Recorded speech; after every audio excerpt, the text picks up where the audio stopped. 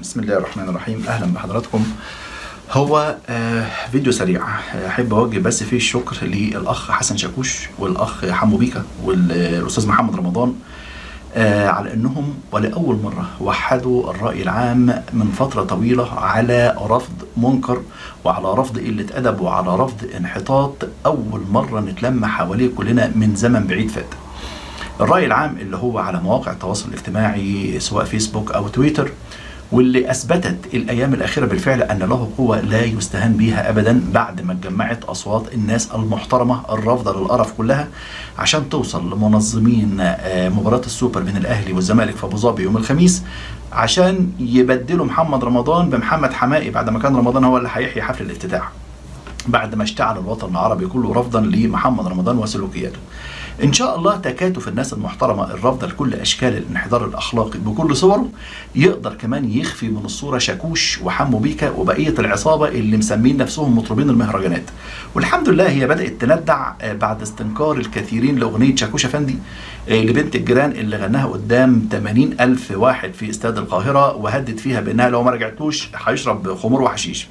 موضوع رمضان وشاكوش وحمو بيكا وباقي مجعرين المهرجانات يجب أن تكون وقفتنا معه وقفة طويلة ولا يصيبنا الملل أبدا أو الاستسلام لأمر ممكن نغيره لو فضلنا مستمسكين بالرفض. لأن لازم يا جماعة نبين للناس خطورة هذا السرطان. ده داء ومنتشر هم مش مجرد حمير وبتجعر. لا والله الموضوع أخطر من كده بكتير. آه الموضوع مش موضوع برضو نقابة مهن موسيقية عشان تمنعهم من الغنى. لأنهم بيغنوا في أي حتة تانية بصورة أو بأخرى وبيتسربوا وأغانيهم بتوصل للملايين زي ما أنتم شايفين. لكن الموضوع هو موضوع ولادنا. موضوع انحدار للذوق العام على أعلى مستوى. الموضوع في منتهى البساطة هو إفساد في الأرض بكل ما تعنيه الكلمة من معنى. الموضوع يجب ألا يكون من أيادي نقابة المهن الموسيقية عشان تمنعهم من من الغنى لكنه يجب أن يكون تحت سلطة الشرطة وسلطة الداخلية وسلطة قوات مكافحة الإرهاب لأن بصراحة دول مفسدين في الأرض. بيسعوا لنشر الفاحشة ونشر الرذيله على أعلى مستوى بالوثائق وبالمستندات. هي لو أغاني حمورية مفيش مشكلة لكن كلمات الأغاني هي بمثابة بلاغ للنائب العام في كل واحد من دول من اللي غنى الكلمات دي. الكلمات ديت والأغاني دي بتندرج بالظبط تحت بند فعل فاضح في الطريق العام. ألفاظ بذيئة قذرة بتدخل في نطاق السب والقذف لكل حد محترم عايش في البلد دي. هي تستحق على الأقل عقوبة قد تصل إلى السجن عدة سنوات بموجب اللي, اللي جاي في الدستور المصري وليس مجرد المنع من الغنى وخلاص. الناس اللي بتدافع عن السرطان اللي منتشر ده واللي هينتشر أكتر طول ما إحنا ساكتين وقايلين إحنا ملناش دعوة مش عارفين إن أولادهم أول حد هيدفع الثمن لما بتلاقوا يا جماعة أولادكم هيطبقوا الكلام اللي في الأغاني وناس كتير والله ما تعرف إيه كلمات الأغاني وأنا كنت منهم لغاية لما النهارده جاتني رسالة على الخاص بكلمات بعض أغاني المهرجانات. أقسم بالله العظيم أنا كنت بقرأ الكلام وخايف حد يدخل عليا وأنا بقراه. حاجة في منتهى القرف في منتهى السفالة في منتهى الانحطاط في منتهى القذارة والسفالة.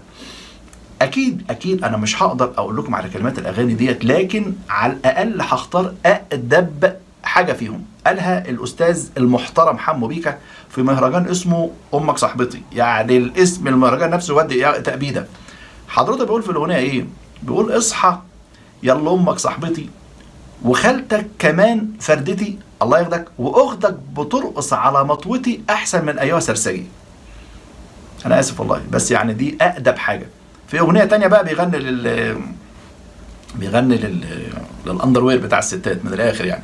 بقية الكلمات حتى ما ينفعش حتى ألمح عنها لكنها بمنتهى البساطة يعني بيوصف في الأغاني بتاعته يا جماعة علاقات جنسية. والله العظيم بيوصف علاقات جنسية بالكلمات المباشرة القبيحة.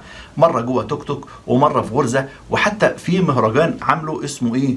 اسمه انتحار على خط النار. يا سيدي بيحكي قصة قصة إيه؟ عارفين قصة إيه؟ قصة أب أب أستغفر الله العظيم كل ذنب أب معاشر بنته.